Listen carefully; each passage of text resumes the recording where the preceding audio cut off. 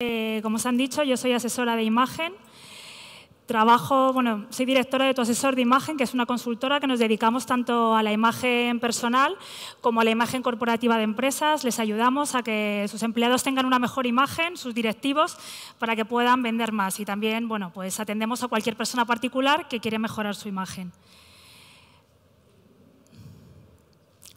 Hoy os vamos a hablar de la importancia de la imagen. La imagen personal es nuestra carta de presentación. Refleja la manera en que queremos relacionarnos con el mundo y con los demás. Cuando nosotros eh, conocemos a una persona, cuando alguien nos ve en una foto, nos ve en un vídeo o simplemente es la primera vez que nos saluda, en 20 segundos ya ha formado totalmente una concepción de nosotros. Y para que os hagáis una idea de la importancia de la imagen, cuando nosotros hablamos con alguien, solamente presta el 7% de su atención a nuestras palabras y el resto de su atención va dirigido a cómo nos ven y a cómo nos movemos. Por eso es tan importantísimo la imagen, por eso hay que cuidarla. Eh, la primera impresión es la que cuenta, efectivamente. Cuando nosotros damos una primera impresión a un cliente o en una reunión y damos una buena imagen, nosotros ya tenemos muchísimo ganado. Pero ¿qué ocurre si en esa primera contacto con el cliente, en esa reunión con el proveedor, esa reunión con un posible colaborador, nosotros damos una mala imagen. Es muy, muy difícil cambiar esa imagen, súper difícil.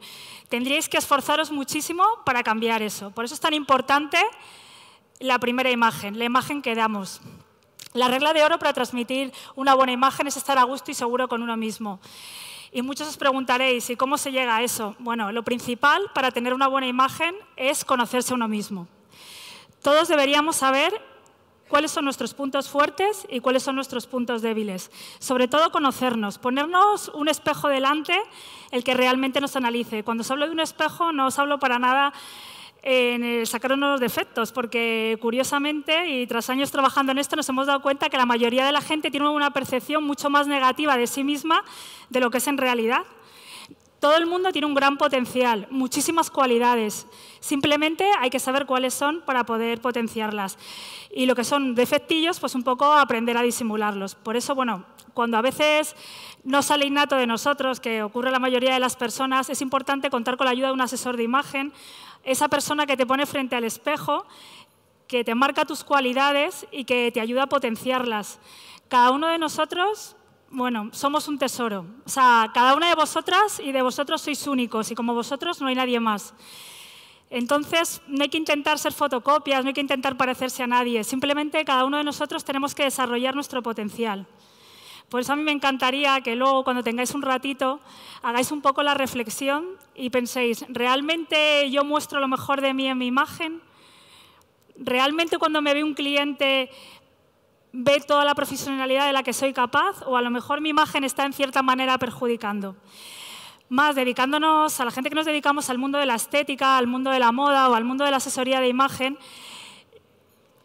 tenemos que predicar con el ejemplo. O sea, si yo soy esteticista, tengo que tener una piel increíble, un pelo cuidado, una manicura bien hecha, y haber cuidado mi imagen, porque si no, ¿qué va a pensar el posible cliente?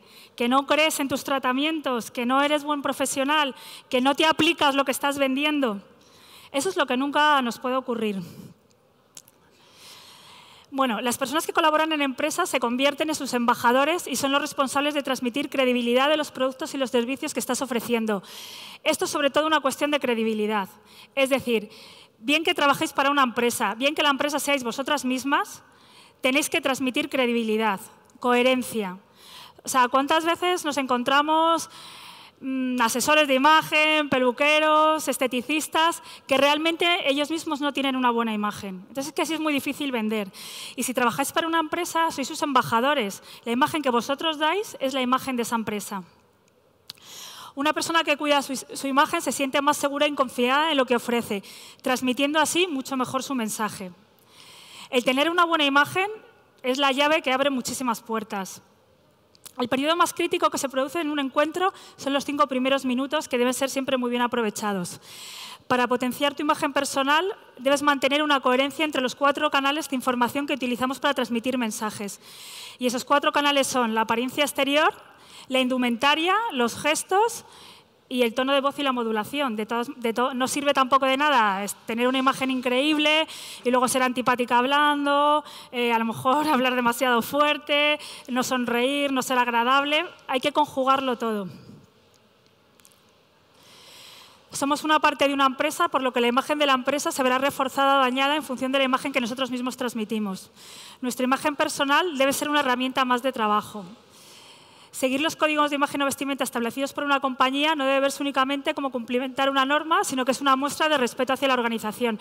Yo imagino que aquí muchas de vosotras trabajáis para vosotras mismas, como es mi caso, nosotras somos nuestra empresa, nosotras somos nuestra imagen y nosotras tenemos que cuidar nuestra imagen para transmitírsela al cliente. Nuestro aspecto físico es determinante en la percepción de la imagen de la persona, por lo que es importante otorgarle la relevancia que tiene en nuestra sociedad. No sé si os ha pasado alguna vez, bueno, yo os voy a contar una pequeña anécdota que me pasó a mí, pero se me quedó muy marcada. Cuando estudiaba asesoría de imagen, yo tenía una profesora que era muy estilosa, muy elegante y muy buena profesional y sabía muchísimo. A mí me encantaba aquella profesora, prestaba muchísima atención en sus clases, pero un día esa profesora no pudo venir y mandó a una profesora suplente. Esta profesora, más joven que ella, se presentó como asesora de imagen. Yo, la verdad que no recuerdo nada de lo que me explicó en aquella clase, pero recuerdo perfectamente que iba mal peinada, mal vestida y con los zapatos medio sucios. Entonces yo no me podía concentrar en lo que me contaba. O sea, yo solo pensaba, pero tú a mí qué me vas a enseñar de asesoría de imagen. Y a lo mejor lo que me decía era súper interesante.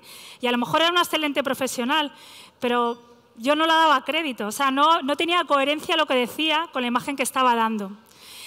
Y no aprendí nada de lo que me enseñó aquel día, de lo que me contó, pero sí aprendí que a mí intentaría que jamás me pasase eso. O sea, nunca presentarme delante de un cliente o presentarme en una reunión con una mala imagen, dando un discurso y que mi imagen esté reflejando otra cosa. En vuestro caso, es muy complicado vender un tratamiento estético, muy complicado vender cómo tener una piel radiante si vosotras mismas no la tenéis porque el cliente es que nos va a creer, o sea, así de claro. Entonces, por eso es tan importante que le deis la importancia que tiene la imagen. Yo cuando os hablo de imagen, no penséis que os hablo de tallas ni de estereotipos.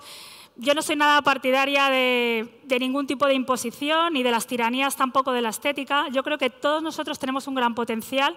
Da igual el físico con el que hayamos nacido, da igual la talla que tengamos, todo el mundo arreglado, todo el mundo sacado el máximo partido es espectacular y os lo puedo asegurar. O sea, he visto a cientos de personas, muchísimos casos, todo el mundo puede mejorar muchísimo, de verdad. Entonces nadie puede tener la excusa de no, es que yo no nací alta, es que yo tengo una talla tal y eso qué importa. Cada uno de nosotros somos personas únicas, únicas y especiales, con nuestra personalidad. Y de hecho está muy bien que además cada uno la tengamos y que no intentemos ser fotocopias de nadie, sino que saquemos todo nuestro potencial. Por eso cada una de vosotras, de verdad, y de vosotros, que sois increíbles y tenéis que demostrarlo, tenéis que sacarlo porque eso os va a ayudar a vender mucho más. El tener confianza en uno mismo, ¿qué te hace? Que tú vas por la vida con seguridad. Cuando tú vas con seguridad, tú te ves capaz de todo. Tú afrontas cualquier reto y es tan importante en tu vida profesional como en tu vida personal. En tu vida personal, el no tener complejos, el no pensar que eres menos que nadie, es increíble. Y en tu vida profesional, de verdad que vais a ser capaces de cualquier cosa que os propongáis. En definitiva, un buen aspecto es un broche de oro para nuestra imagen personal. Yo sé que muchas de vosotras pensaréis, ya, pero es que yo trabajo ocho horas, tengo hijos o mil cosas que de alguna manera dificultan el dedicar un tiempo a la imagen. Pero de verdad que es un poquito de disciplina. Yo os voy a decir algunos trucos que a mí siempre me han funcionado, que es, por ejemplo, siempre dejar la ropa preparada el día antes por la noche. O sea, el vestirte deprisa y corriendo y ponerte lo primero que cojas es el peor enemigo para tener una buena imagen. Entonces, ¿yo qué os aconsejo? Pues si tenéis un domingo por la tarde un rato, un momentito que tengáis, dedicar ese rato a ver qué ropa tenéis, a quitar la que ya nos vale, con la que ya no sentís bien y con la que de verdad os sentís a gusto, intentaros haceros unos cuantos estilismos, unos cuantos conjuntos que ya vosotras bien memoricéis o bien fotografiéis con vuestro propio móvil y la noche antes rápidamente preparo. Entonces me preparo un estilismo para cuando tengo que ir de reuniones. Imaginaros, con un nuevo colaborador, un nuevo cliente, y tengo mis dos estilismos para ir a reuniones. Ya me los sé de memoria, me los saco por la noche, me veo que estén bien planchados, que no haya bajos descosidos, que nada tenga manchas y que esté todo perfecto. Me lo preparo. El pelo, lo mismo. Es mejor no lavárselo por la mañana porque con las prisas, ¿quién se puede peinar en cinco minutos? Es imposible. Siempre el pelo limpio de la noche anterior. Rápidamente por la mañana me dos toques de plancha, de cepillo, cada una dependiendo de vuestro pelo. Me pongo el conjunto que ya me he preparado la noche antes y he pensado en el bolso, en los zapatos, en todo siempre voy a ir bien. Por supuesto, siempre un poquito de quita ojeras y un poquito de crema que dé color, porque tenemos que tener aspectos saludables. La gente que nos dedicamos al mundo de la estética tenemos que tener siempre aspecto de buena cara, aunque no hayamos dormido, aunque tengamos mil preocupaciones, da igual. Nosotras vendemos salud, vendremos belleza, vendemos imagen, siempre buena cara. Entonces, de verdad que con esos truquitos, con la ropa preparada, los estilismos pensados, Siempre buena cara. Nunca puedes pensar, que no me dio tiempo a maquillarme, pero si no hay que maquillarse, es un poquito de quita ojeras, de un poquito de crema con color, un poquito de colorete, que siempre levanta mucho, y ya está. Y todas tenéis que tener una imagen impresionante. Si vosotros vais seguras, si vosotras os lo creéis, si transmitís eso a vuestros clientes, bueno, yo os digo que vais a tener el éxito asegurado porque estoy convencida que encima sois excelentes profesionales. Entonces, toda vuestra profesionalidad va a verse incrementada por la imagen tan increíble que estáis dando. Entonces, bueno, me gustaría sobre todo de aquí que cuando tengáis un ratito, todos reflexionéis si de verdad estáis dando la imagen, dando el máximo de vosotras mismas, si pensáis que podéis mejorar, qué cosas haríais para mejorar. Si vosotras mismas sois capaces, fenomenal.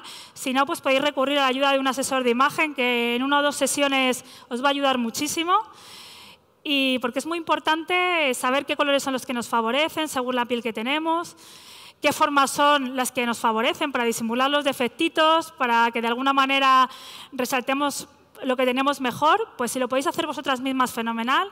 Y si no, pues pedir ayuda, una sesión, dos sesiones, porque eso es para toda la vida. Lo que os van a enseñar va a ser súper útil para toda la vida. Y luego, bueno, eh, me encantaría, bueno, este es un ejemplo como veis aquí, bueno, de una persona que tiene todo sacado su potencial al máximo y como era antes de ponerse en manos de diferentes profesionales. Luego me encantaría deciros una cosa. Yo la verdad es que me muevo entre el mundo de la moda y el mundo de la estética, pero casi os diría que más en el mundo de la moda. Y yo echo de menos cuando a veces voy a los centros de belleza que las personas que me atienden, aunque sepan mucho de estética, en muchas ocasiones no están a la moda. O sea, no saben cuáles son las cejas que se llevan ahora, justo ahora. A lo mejor no me aconsejan el color de uñas que sé que ha salido en los últimos desfiles. Entonces, eso sí que, no en todos los casos, pero sí que veo que a veces falta conexión entre el mundo de la moda y el mundo de la estética. Entonces, yo de verdad que os invito a todas, pues que todos los meses echéis mano de Vogue, de él, de Telva, que os fijéis en las modelos, que os fijéis en los reportajes, porque ahí se ven qué cejas llevan, cómo van maquilladas, y os va a ser súper útil para aconsejar a vuestras clientas. Vais a tener ese plus. Y si tú la estás aconsejando y te preguntan, eh, mira, bueno, pues por ejemplo, las cejas, que las cejas es un elemento impresionante, cómo cambia un rostro con unas cejas bien enmarcadas. Si tú la dices, mira, es que en el último desfile de Prada, las modelos sacaron esta ceja y además a ti te va a quedar fenomenal porque tal. Imaginaos vuestra clienta, eso no le dio su vida o casi nunca, se va a quedar fascinada con vosotras. Entonces yo de verdad que os animo a que haya esa conexión total entre estética y moda que cojáis como cabecera las revistas de moda. Yo empezaría por el Vogue y el El, si luego podéis pasar alguna más, pues a lo mejor Miriam Telva. Os fijáis en los reportajes, os fijáis en todo, qué pelo llevan, eh, hasta qué maquillaje, si este año se lleva la piel natural. Hay que fijarse si las modelos o los reportajes casi la piel, además que allí eh, hay muchísima información, cuál es el último color de uñas, si me van los colores cálidos cuál, si me van los fríos. Y creo que podríais aportar muchísimo a vuestros clientes podríais mm, añadir un valor grande, diferenciaros de las demás y decirnos que yo además de saber mucho de estética, es que sé mucho de moda, es que sé lo que se ha llevado, es que sé lo último que se lleva, es que sé lo que se lleva en Nueva York, lo que se lleva en París, lo que se lleva en Milán y yo te lo cuento. O sea, creo que de verdad que, que lo van a agradecer muchísimo a vuestros clientes. Y bueno, desearos a todas muchísima suerte, que desarrolléis de verdad todo el potencial que tenéis, que sé que es muchísimo.